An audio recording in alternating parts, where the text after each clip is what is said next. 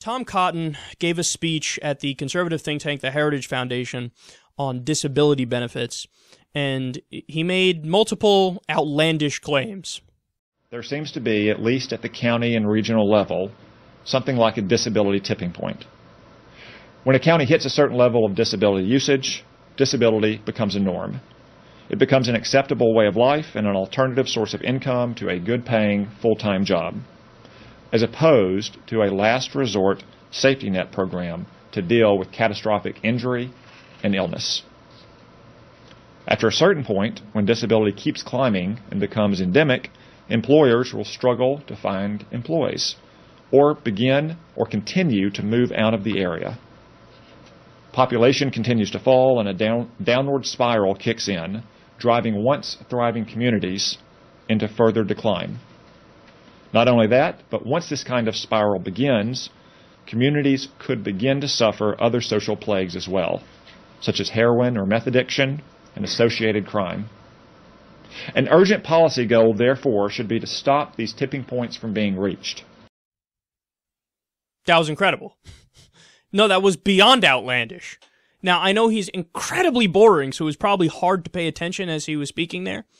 But he said that disability benefits leads to people being addicted to crystal meth and heroin. No, it doesn't. You just totally made that up.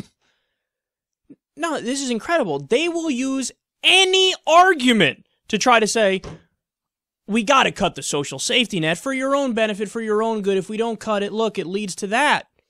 It leads to people being addicted to crystal meth and heroin. And what are you going to do, man? Disability becomes a way of life.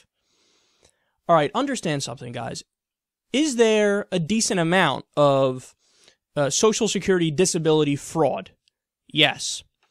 Uh, should we fight that? Should we investigate that and bring an end to that and continue to combat it as much as humanly possible?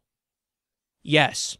Does that then therefore mean you get to make up arguments about how just having disability leads to people doing crystal meth and heroin. No, there's no, that's not true. There's no connection. He's simply doing that because he does want to generalize about everybody who takes disability benefits, and he wants to use this as a Trojan horse argument to cut the entire thing. And, little food for thought here so you really know where these guys are coming from. The Democrats proposed not that long ago a bill that would have increased funding to the department that checks for fraud, waste, and abuse in Social Security disability. You know who blocked it? The Republicans. And the Democrats told them, look, guys, we're spending more upfront here so that we can save more money in the long run because they're going to get more money back and save more money because they'll find fraud, waste, and abuse. And when they cut back on that, the program actually is a net surplus because we're paying up front here for them to do their job and save the government money. The Republicans are like, nope, nope, we're not in favor of it. So the Democrats are saying, let's fight fraud, waste, and abuse in this particular program, and the Republicans block it. And then Tom Cotton goes out there and says, you know, we really got to fight fraud, waste, and abuse in this program, man, because then it leads to heroin addiction and meth addiction. No, you guys blocked fighting it because it's not really about that.